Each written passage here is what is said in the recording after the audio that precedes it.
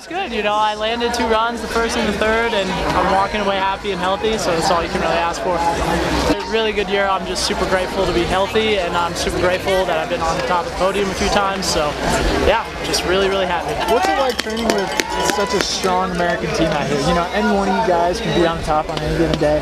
What's that like?